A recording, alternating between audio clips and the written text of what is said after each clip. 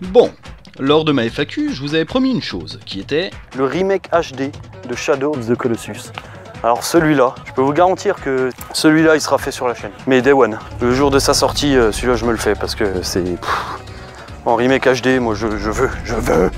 Une fois n'est pas coutume, je n'ai pas tenu ma promesse, comme toujours. Mais, pour autant, je me suis procuré ce petit bijou de remake qu'est Shadow of the Colossus sur PS4. Et j'ai totalement roulé sur le jeu. En le platinant, en récupérant toutes les armes et objets spéciaux, ainsi que tous les artworks que l'on peut débloquer en finissant le jeu un certain nombre de fois dans tout type de difficulté ou en rebattant les colosses dans différents modes, etc. etc. Du coup, pourquoi est-ce que tu nous dis tout ça, Necros? Et qu'est-ce qu'on va voir dans cette vidéo?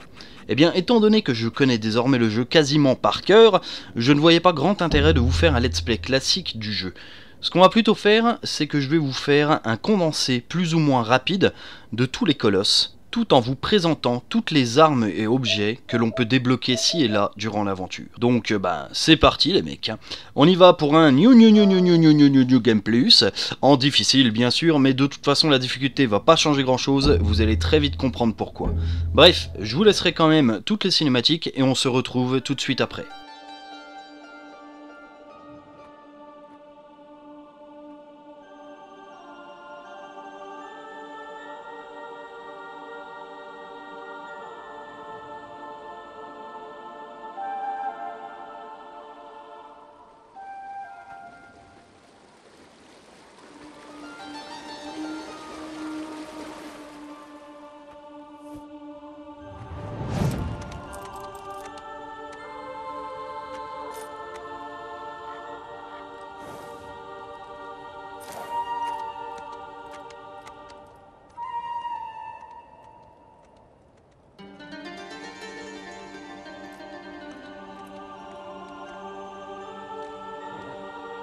Ha ha ha!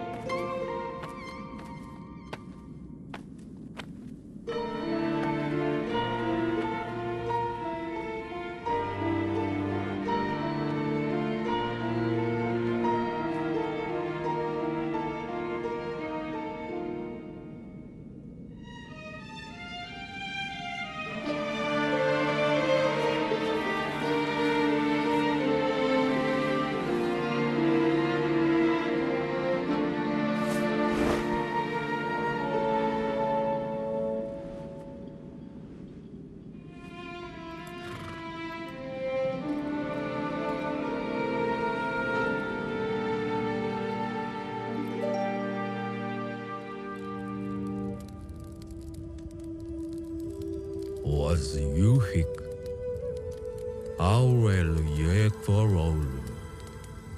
I Aurelu Yekvorolu, Ikuduibi Kuka, Yulbzolu Iondu, Yulilo Kok, Ayuzi Yulakoldoloya, Olik Olazulam Kos, Ilzozerik Kuatzoko, Amnos Kludu. Lao Museum Warp was Yuediula's also. view houses is built. E Kizado localizzato Yulola. Islis Posaiuku. Ao Mizuki Kill. Lua Kika.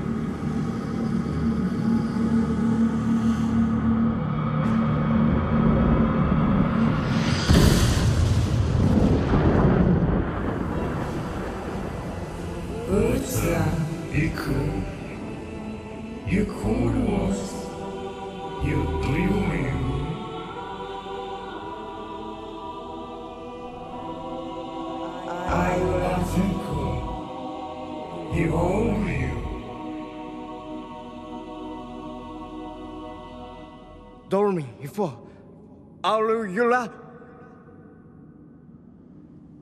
押して入るは浮きうわいくわ。ウジスヒアズウズドコ。わしのるで今日うていら。 I will answer. I will be. You item. Dormi. Killed. イ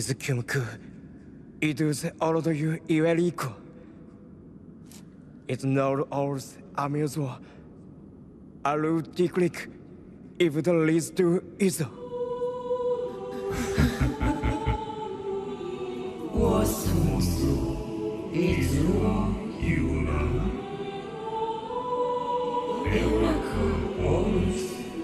Is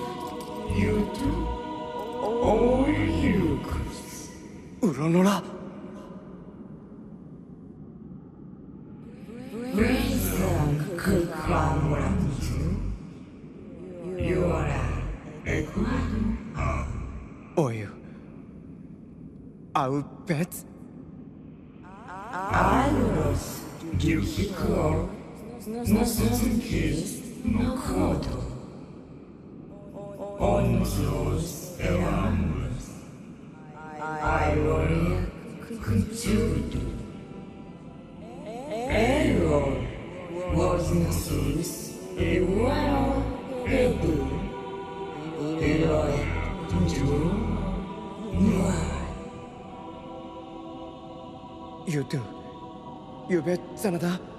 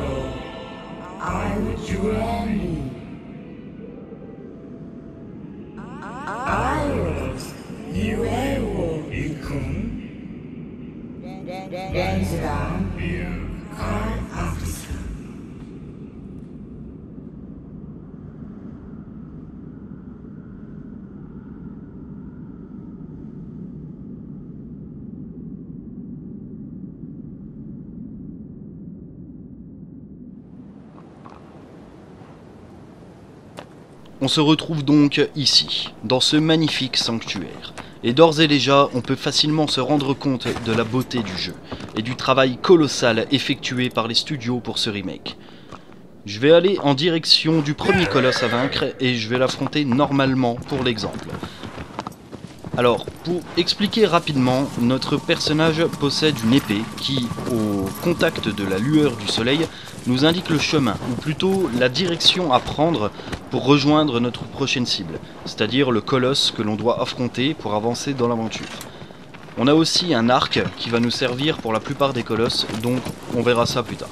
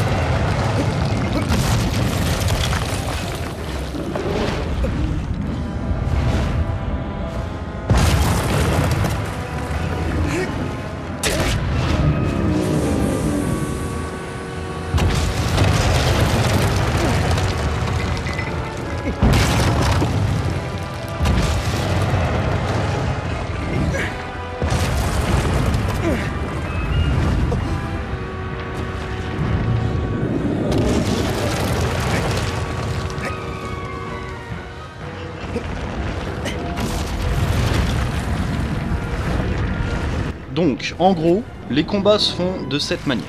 Chaque colosse possède un ou plusieurs points faibles qui sont représentés par des sigils, qu'il va falloir frapper à plusieurs reprises à l'aide de notre épée pour en venir à bout. Et lorsqu'il finit par disparaître, il suffit d'en trouver un autre et de faire de même jusqu'à ce que le colosse soit défait.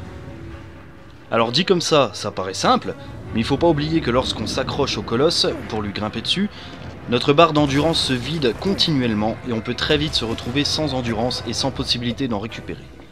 Bien entendu, dans ce cas présent, cette information n'a aucune importance puisque mes barres d'endurance et de vie sont au maximum et soyons honnêtes, à ce stade, je ne risque plus grand chose.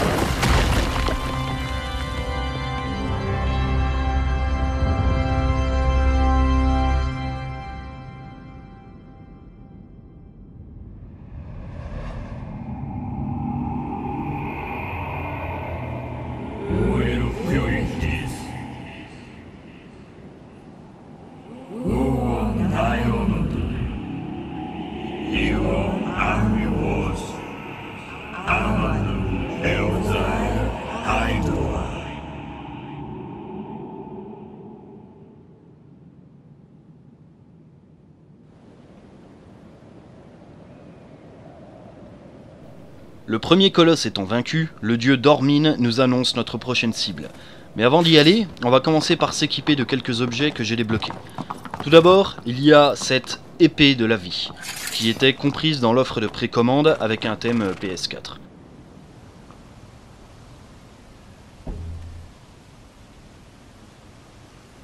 Donc cette épée nous donne la capacité de régénérer notre vie plus rapidement et qui accessoirement est très belle, il faut l'admettre. Mais en somme devient vite inutile lorsque l'on débloque celle-ci, l'épée de la reine, qui est une épée que l'on peut voir dans le jeu Ico. C'est donc un clin d'œil direct à cette œuvre. Cette épée est très puissante et rend le jeu beaucoup plus facile pour la simple et bonne raison qu'elle nous permet de n'infliger qu'une seule attaque par point faible au lieu de 3 voire 4 ou plus selon certains colosses. Autrement dit, si un colosse ne possède qu'un seul point faible, eh bien c'est le one shot. Pour débloquer cette épée, il faut battre les 16 colosses en mode time attack en difficulté difficile. Le mode time attack se débloque à partir du premier New Game Plus, et il suffit de s'agenouiller devant la statue d'un des colosses dans le grand sanctuaire pour déclencher le combat. Et on gagne un objet ou une arme tous les deux colosses vaincus en mode time attack. Qui, via une cinématique, apparaît dans le petit bassin du sanctuaire sous forme de lueur bleue. On peut aussi retourner sur le cadavre d'un colosse vaincu pour recommencer le combat en mode réminiscence, ce qui nous permettra de débloquer certains artworks et autres images plus sublimes les unes que les autres, mais on y reviendra plus tard.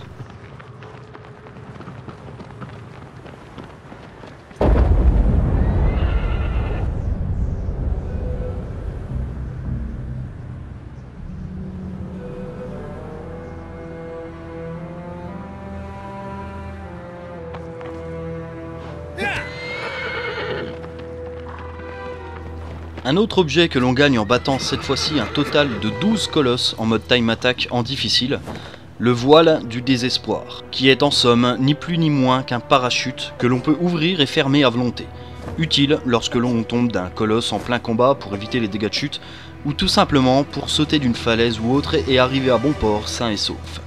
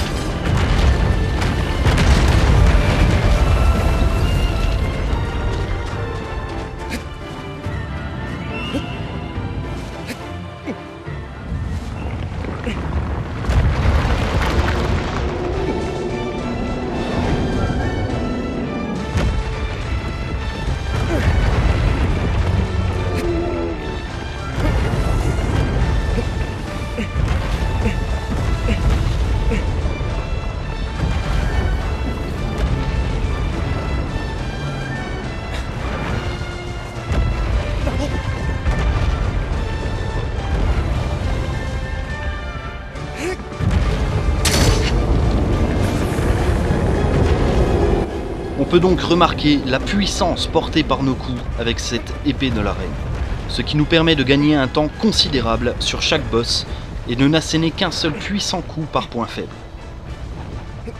A savoir que l'on peut avoir une autre épée du même acabit, bien plus compliquée à débloquer celle-ci, mais j'y reviendrai plus tard.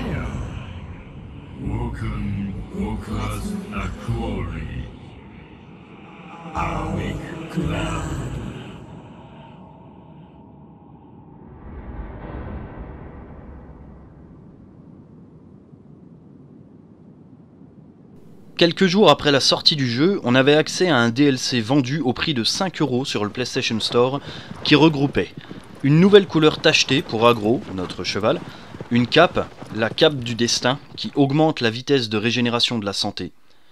Ce DLC comprenait deux nouveaux thèmes pour la PS4 ainsi que 16 avatars à l'effigie de chaque colosse.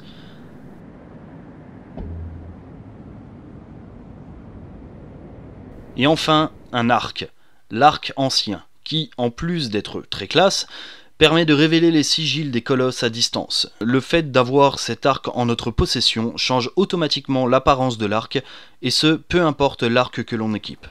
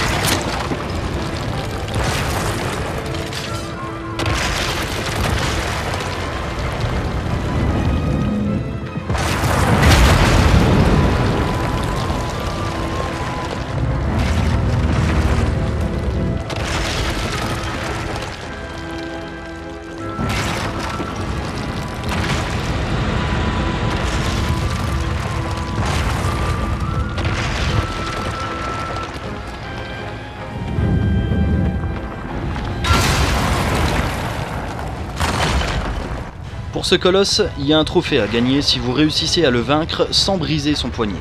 Pour être tout à fait franc, il a fallu que j'aille voir la solution sur les internets pour réussir cette épreuve. Bien que ce soit plutôt simple à effectuer, pour ceux que ça intéresse, je vous invite à en faire de même. Parce que j'ai la flemme.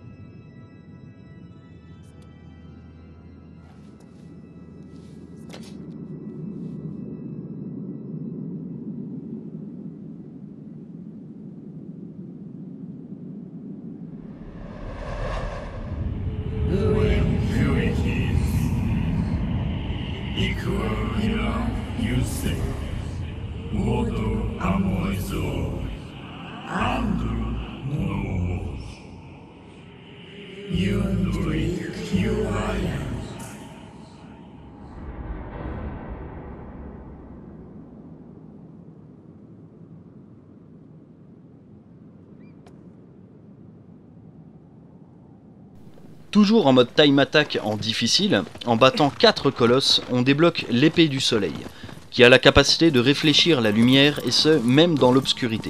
Ce qui aide le joueur à se diriger ou encore à découvrir les sigils des colosses, même dans le cas où le soleil ne pointe pas le bout de son nez. Ce qui est plutôt utile dans certains cas, il faut bien le reconnaître.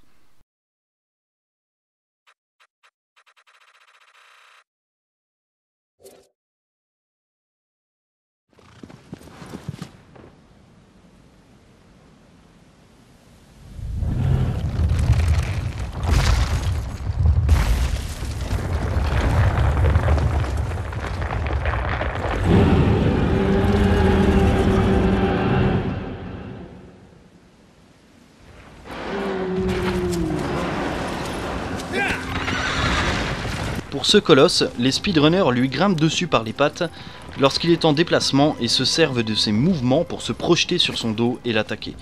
Bon, c'est vraiment beau à voir quand c'est fait par les pros, mais vu que je suis loin, très loin de maîtriser cette technique, je préfère naturellement utiliser la technique classique qui consiste à l'attirer vers une de ses embouchures, puis de se cacher pendant qu'il essaiera de me trouver,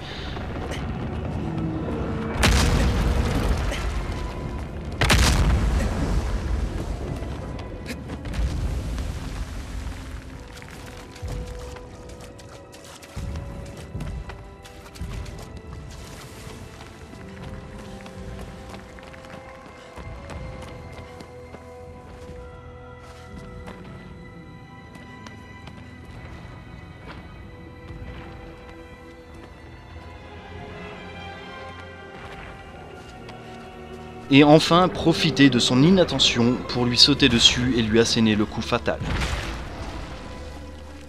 Ce n'est vraiment pas un boss que j'apprécie particulièrement, car hormis le fait qu'il soit très beau et impressionnant, comme tous les boss où il faut attendre d'eux qu'ils fassent une action bien particulière pour pouvoir agir, on est forcé d'attendre que le jeu veuille bien se montrer clément avec nous avant de pouvoir faire quoi que ce soit.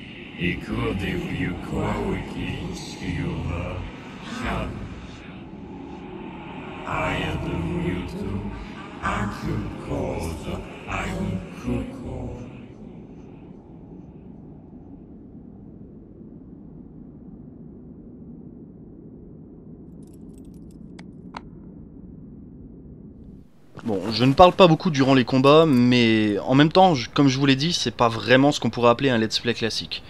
Si vous suivez un tant soit peu, vous aurez probablement remarqué que j'essaye de vous présenter un ou plusieurs objets par colosse. Pas forcément en lien avec eux, ni même dans un ordre logique, mais étant donné qu'il y a une vingtaine d'objets spéciaux à débloquer et 16 colosses, je me suis dit que ça avait du sens. Bref, du coup, la cape du chaman, qui augmente notre défense. On la débloque en tuant cette fois-ci 6 colosses en mode time attack, toujours en difficile. Étant donné que pour débloquer le mode time attack, il faut avoir terminé le jeu au moins une fois et commencer un New Game Plus, et que pour rappel, à chaque colosse abattu, notre barre de vie et d'endurance augmente, arrivé à un certain stade, ce genre d'objet est purement cosmétique. Mais ne soigne en rien cette maladie très connue de certains joueurs, et par moi-même, qui se nomme collectionnite aiguë. C'est d'ailleurs l'une des raisons principales qui m'ont poussé à faire cette vidéo.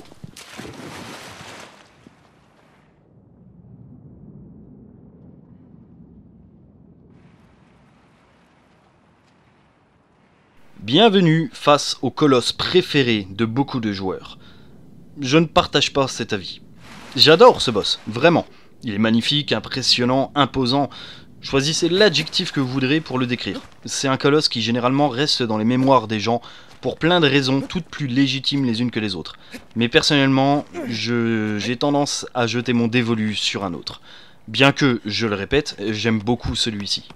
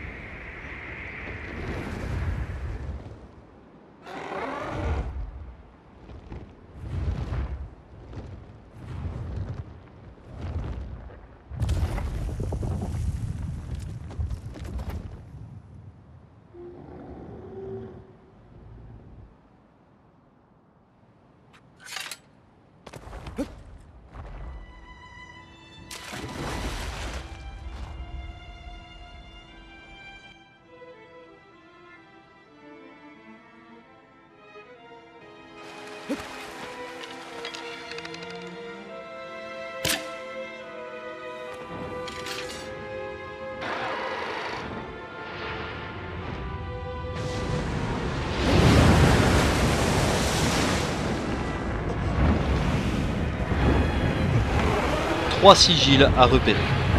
Un sur chaque extrémité des ailes et un à l'extrémité de la queue. le tout en l'air, les cheveux au vent.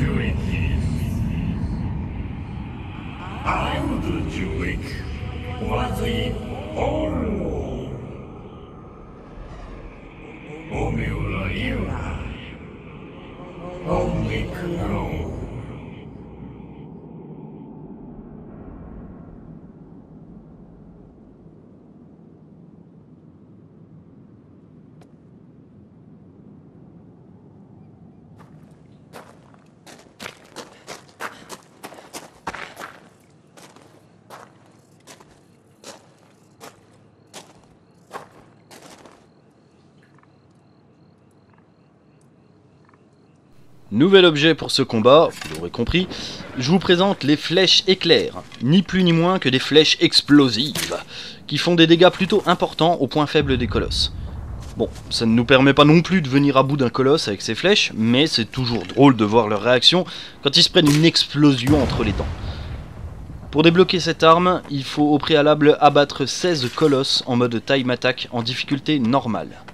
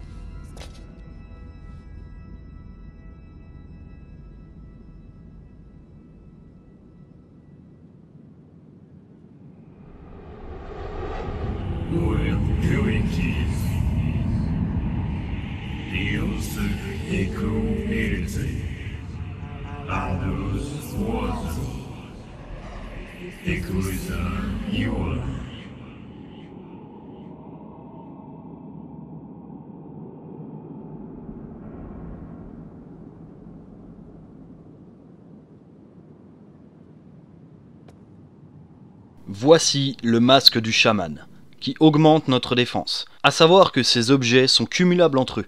Donc masque du chaman plus cap du chaman égale défense doublement accrue. Pour débloquer ce masque, il faut battre 8 colosses en mode time attack en difficile.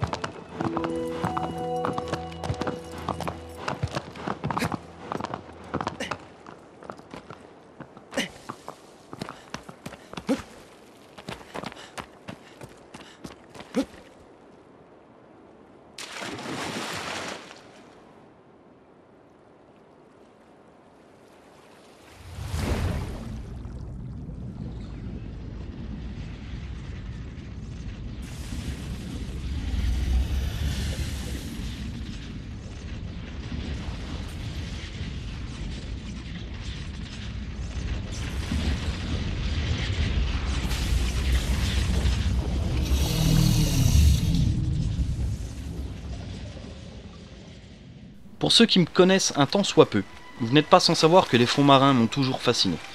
Ce colosse me glace le sang à chaque fois que je le rencontre. D'autant plus dans ce remake car je trouve que l'eau est sublimement représentée et paraît tellement réelle que l'on se sent emporté par le fond lorsqu'on est accroché au dos de ce monstre.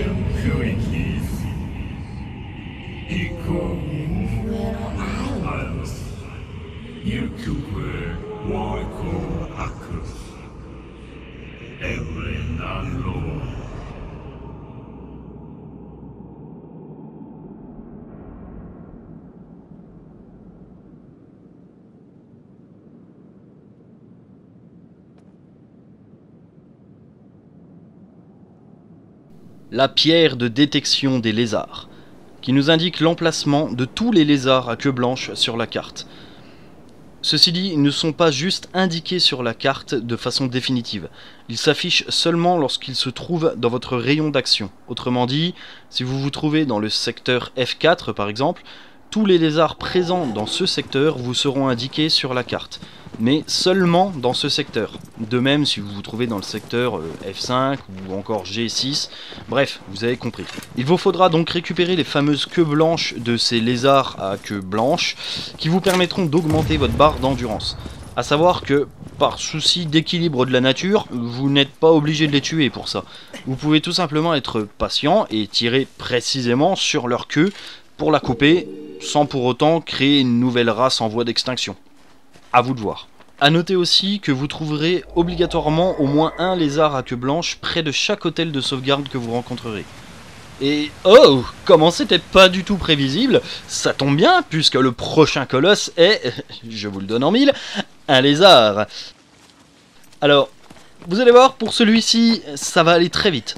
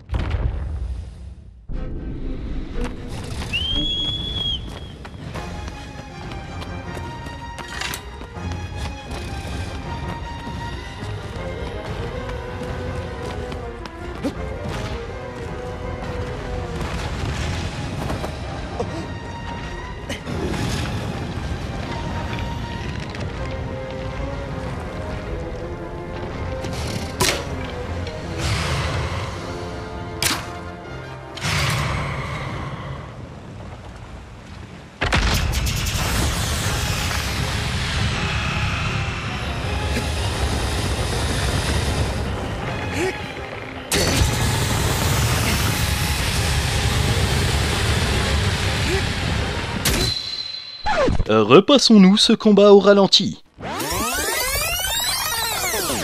Tout d'abord, il faut attirer le colosse en hauteur pour pouvoir le faire tomber et l'immobiliser. Bien sûr, au plus il tombe de haut, au plus il est immobilisé longtemps. En temps normal, vous pouvez l'attirer soit en lui tirant une flèche dessus, soit en faisant en sorte qu'il vous voie et vous pourchasse.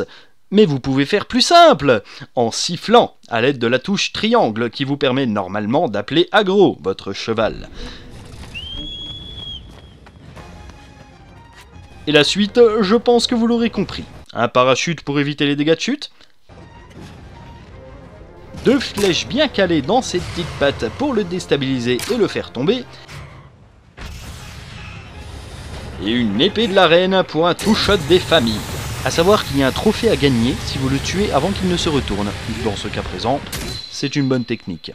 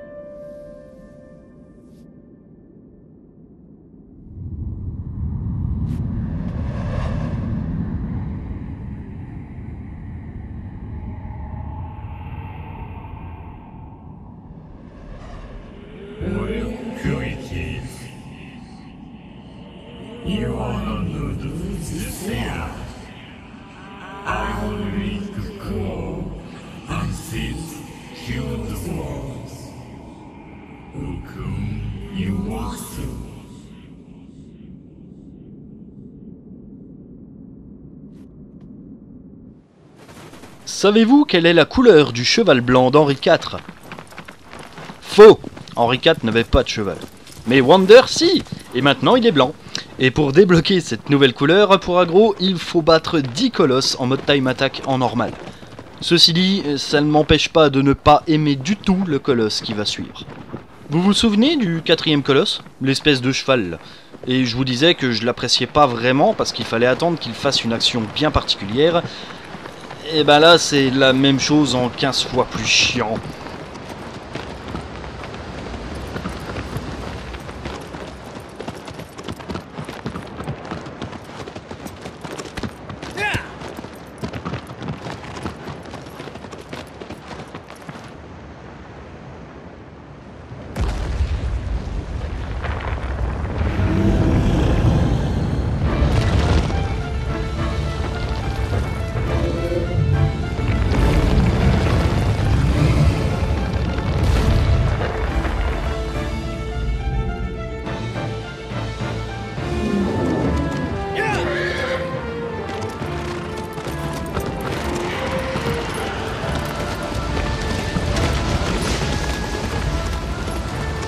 L'attirer près d'un de ces geysers et faire en sorte qu'il se positionne juste au-dessus. Mais pas genre en plein milieu au-dessus. Non, ce serait trop simple. Non Il faut que le geyser le touche au niveau de l'articulation d'une de ses pattes. Et préférablement une patte avant.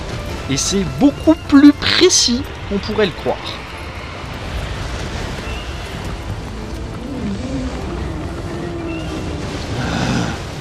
Bref, une fois que c'est fait, il faut tirer sur ces points faibles qui se révèlent sous ses pattes une fois qu'il est déstabilisé.